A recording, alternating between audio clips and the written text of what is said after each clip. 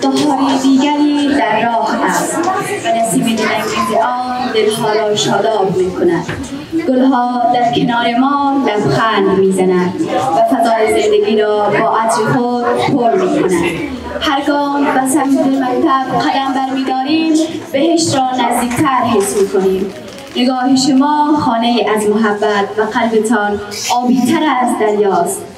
برای شما روز زیبا آرزو می کنم یک سلام گرم یک آرزوی نیکو و دعای خالصانه برای هر یک از شما دارم. امیدوارم زندگیتان پر از شادی عشق و لبخند باشد. این جانب شبنم محمدی متعلم صنف هفتم.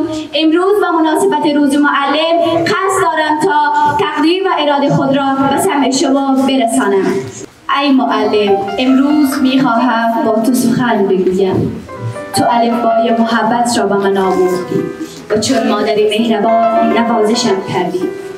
گاهی با سخت هایت به من مسئولیت پذیری را آموختی و با تمام تواناییت تارهای وجودم را به صدا درآوردی و من آموختی چگونه با خداوند باشم. شاد و شکرگزار.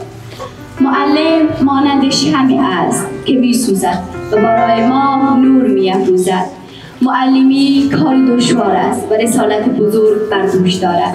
هر کس توان پذیرش این مسئولیت سنگین را ندارد. سوز و درد می‌خواهد عشق و احساس میطلبد صبر و تحمل می‌خواهد چرا که هرچقدر منزلت چیزی بالاتر باشد مسئولیتش نیز سنگینتر و مهمتر است.